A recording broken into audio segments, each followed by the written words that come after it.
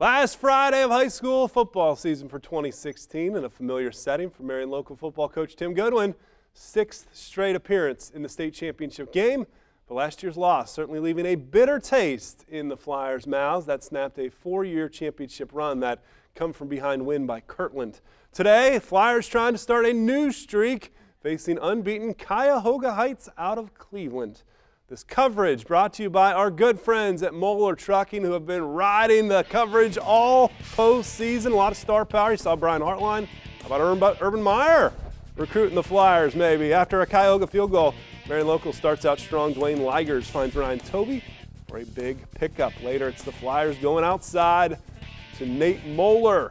And he goes inside the end zone, 7-3, Marion Local. Second quarter now, still 7-3. Flyers with the ball on that one yard line again. Fourth down, they go for it. The gamble pays off. Ligers keeps it, capping off a 99 yard, nine minute drive. Later in the second, Flyers looking to add to that lead before the half, and Ligers dancing his way to the end zone. What a game for the senior. 22 yard touchdown, 21 to 3, Marion Local. Cuyahoga comes out of the locker room like Kirtland did a season ago. Brett Lowther QB keeper score, 21 to 10. Then after a blocked punt, Cuyahoga capitalizes. Lucas Durazio punches it in. 21-17 in the fourth as they don't go for two. They kick the extra point, so a four-point deficit. Flyers looking to milk that clock. Ligers keeps it here, but the ball comes out. Cuyahoga recovers. All the momentum on their side now, looking to take the lead. Cuyahoga wouldn't have it for long, though. How about the sophomore? Matt Rethman in the secondary, a one-handed interception, holding on to it. There's a new doctor in the house in the Rethman family. Could be a top five play. A Layfield Welding top five play. We will see. But Marion Local trying to bleed that clock. Fourth and nine, 2.40 to go. Ligers looks to the end zone, but somehow Tyler Seelig rips it away. What an interception there. Cuyahoga wouldn't have much luck on the next drive.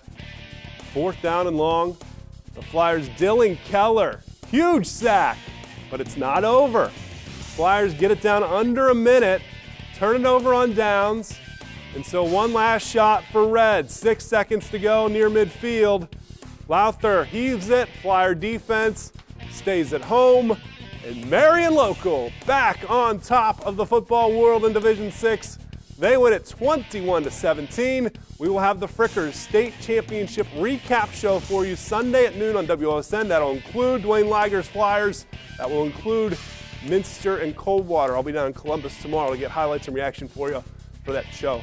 Brought to you by Frickers. But for Marion Local, they're state champs again. No, we, we just came out and did our best, and, and uh, you know, obviously what happened last year was, was uh, was a big motivation for our whole offseason. Just, uh, yeah, it was a roller coaster, and I'm just, just uh, excited that we were able to make one play at the end. I can't even describe my feelings right now.